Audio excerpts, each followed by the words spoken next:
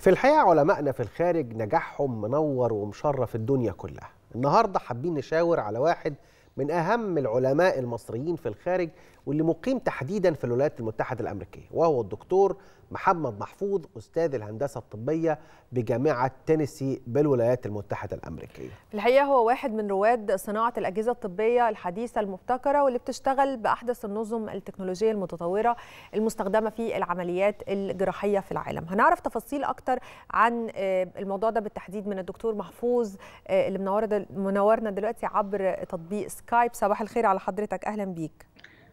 صباح الخير يا فندم. أهلا وسهلا. صباح الخير. دكتور يعني حضرتك كنت موجود في مصر من كام يوم وكان في لقاء جمع بحضرتك بوزيرة الدولة للهجرة وشؤون المصريين حول الاستفادة من توطين صناعة التكنولوجيا المتطورة في مجال الهندسة الحيوية. إيه اللي تم في هذا الاجتماع؟ وإزاي مصر تقدر تستفيد من هذه الخبرات؟ آه، هو طبعا أنا أحب آه، آه، إن أنا أشكر السفيرة سهى جندي لأن الاجتماع ده كان تم ترتيبه من فترة وأنا حقيقة كنت موجود في يونيو في مصر بس لم يسمح الوقت. لكن آه، أنا عايز طبعا آه، آه، أشكر ال- ال- السفيرة لأنها كانت خدت من وقتها وقت كتير الحقيقة علشان تسمع للاقتراحات اللي أنا كنت بتناولها في هذا ال- الاجتماع. ف أنا بس في لحظة واحدة في ايكو في الصوت. إحنا إحنا آه، الصوت عندنا تمام. تمام؟ okay طب ممكن بس آم، لو حضرتك مشغل التلفزيون يا ريت تقفل الصوت. طيب okay. وتسمعنا من- من خلال من خلال الكمبيوتر أو اللابتوب اللي بتكلمنا منه.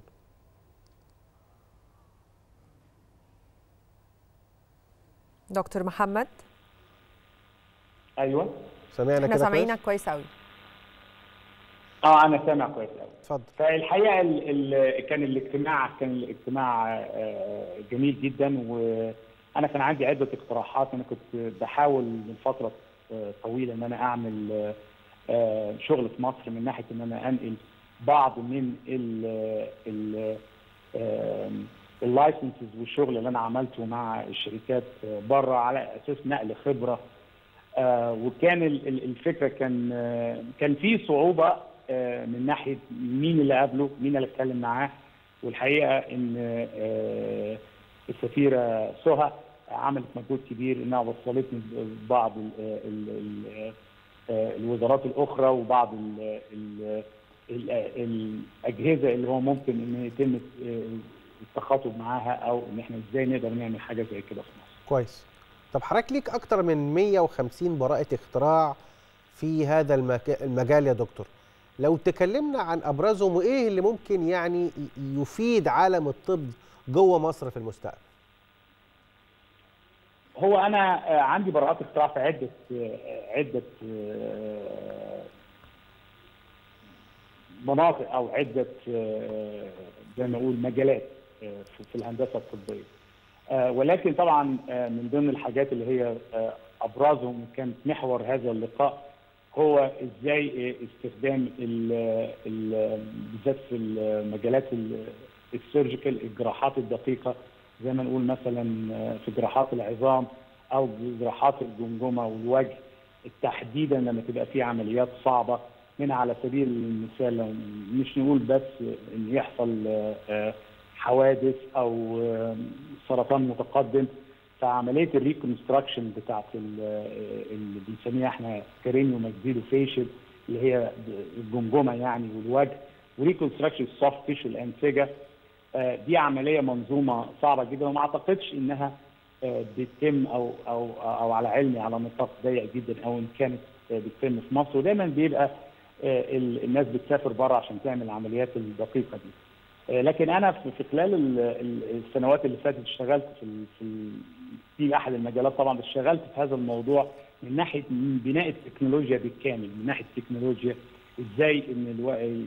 يحصل عملية تخطيط للعمليات دي إزاي يتم إنتاج الشرائح وال آه، والادوات اللي يتم استخدامها إزاي يتم آه، عمل هذه الأشياء ان هي العملية دي يتم تحقيقها وطبعا العملية دي بتتم بتكون عمليات دي النوع ده تحديدا بيتم بعده تخصصات مع بعض. يعني حتى بيدخل بيبقى ساعات طبيب بيبقى فاسكولار بيدخل مع ال مع الاورثوبيديك بيدخل بتدخل مجموعة يعني.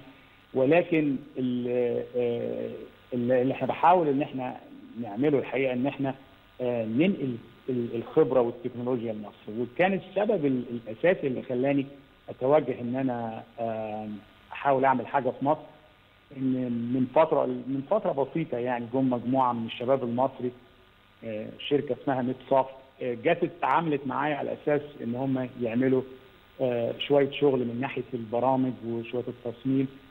وأنا تقريبا ما كنتش عمري ما تعاملت جوه مصر مع أي مجموعة من أو ما عنديش فكرة إن في خبرات مصرية موجودة. في هذا المجال. طول الوقت ان إحنا بنستخدم دايما شركات من الهند أو من بلجيكا أو من البرازيل. فكان التعامل الحقيقة أنا ما كنتش متوقع كده. إيه اللي هم وفروه يا فندم؟ أنت حسيت إنه يعني إيه اللي هم وفروه؟ حسيت إن إحنا عندنا دلوقتي شركة مصرية قادرة تقدم service معينة ب ب ب خليني أقول بتقنية متطورة. إيه الحاجة المختلفة اللي عشان كده اشتغلت معاهم؟ جميل. هم كان الحقيقة المجموعة Med Soft دول كان عندهم software يعني بيقدروا يعملوا software ال software الطبي على فكرة ده بيتطلب آه مش زي أي software بيتعمل لأن طبعا لازم بيدخل على على standards وال standards دي لازم تبقى آه إن يدخل على آه المواصفات المطلوبه مثلا بال FDA اللي هي ما يوازي أعتقد اللي هو Federal Drug Administration في الولايات المتحدة. وال CE في, في اوروبا. ف اللي هم قدروا يعملوه انهم قدروا انهم يوصلوا لنفس المستوى لشركات اقدم أو مجموعات اقدم. يعني طبعا الهند إحنا لازم نعرف انها من اكبر الدول اللي بتعمل برامج software وفي المجالات إحنا بنتكلم software لأجهزة طبية معينة صح؟ آه لا ال software هنا بقى بيشمل بيشمل أجهزة فعلا بس هو بيشمل تخطيط العملية مثلا.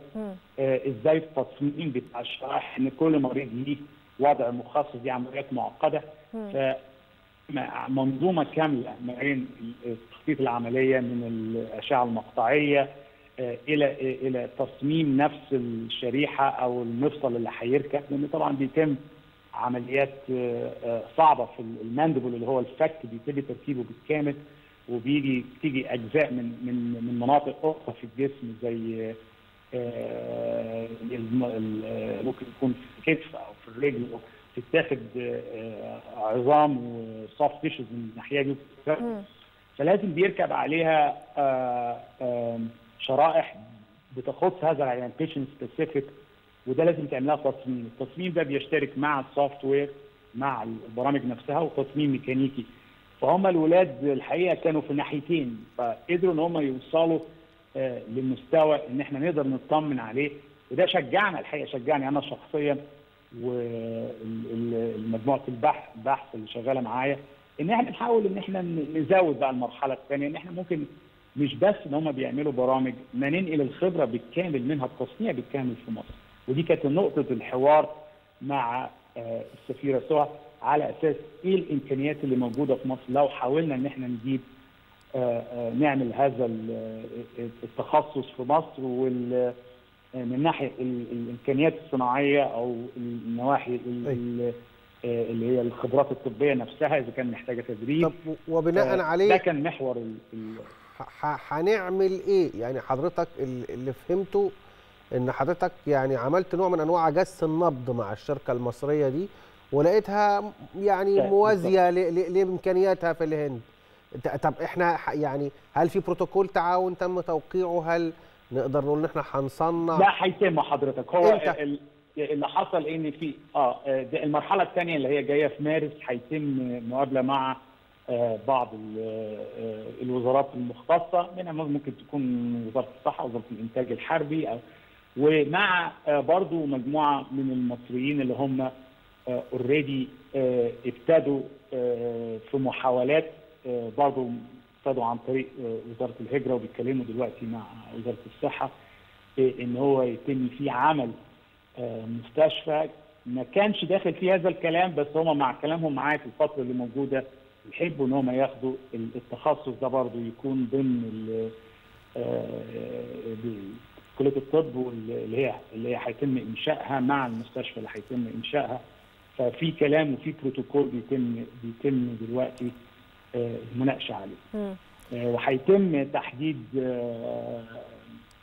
ميعاد إن أنا أنزل في, في مارس ممكن يتم فيها مقابلة بعض المسؤولين على أساس إزاي نقدر نحرك هذا الموضوع. الموضوع ده يتطلب طبعا زي ما بقول أنا أنا الفكرة عندي إن أنا عايز أنقل التكنولوجيا في مصر. التكنولوجيا دي بتيجي من عن عن طريق إنها تيجي تراخيص معينة من بعض الشركات ومني أنا شخصيا من الحاجات اللي أنا بعملها اللي هي طبعا جزء منها براءات الاختراع اللي اتكلمنا عليها في الأول. طيب بالتوازي هو مع ده ال ال ال الشكل.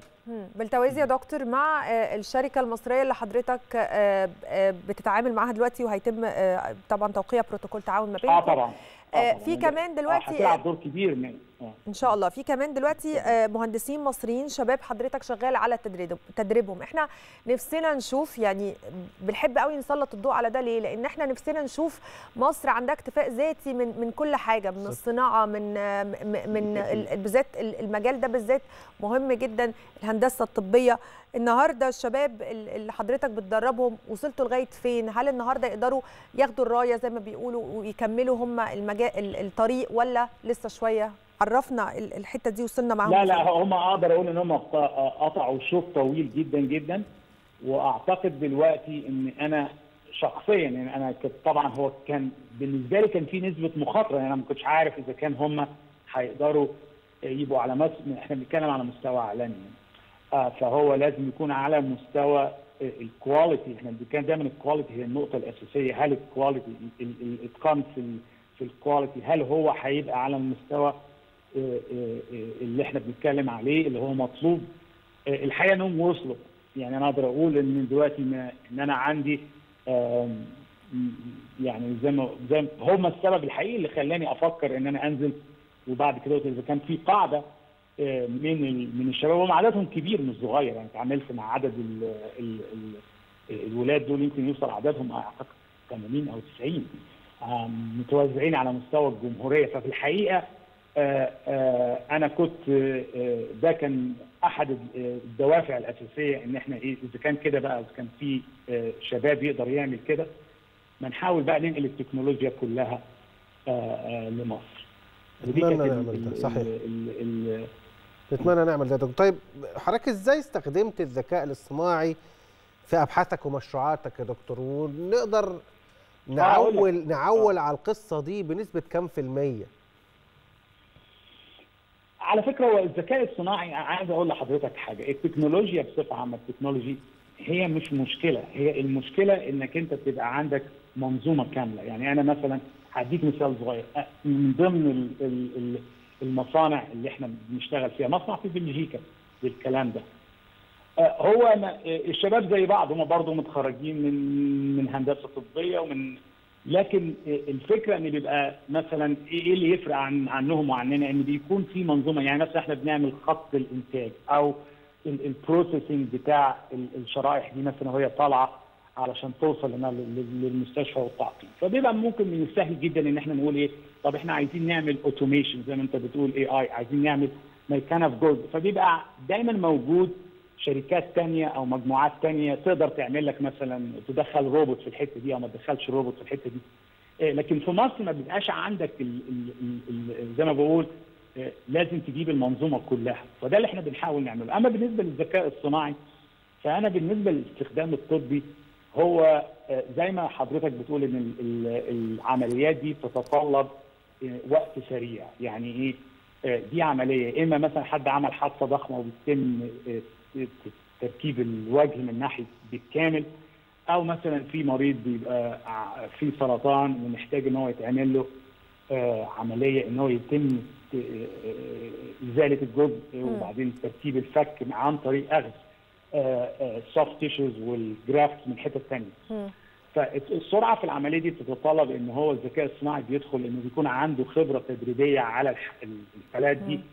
اذا هي هي تقنيات حديثة جدا طبعا وصل لها العلم. إحنا بنشكرك جدا دكتور محمد محفوظ أستاذ الهندسة الطبية في جامعة تينيسي بالولايات المتحدة الأمريكية. وإن شاء الله نشوف هذه التقنيات الجديدة بينفذها مهندسين مصريين. طبعا بعد ما حضرتك أكيد تقوم بتدريبهم. بنشكرك مرة ثانية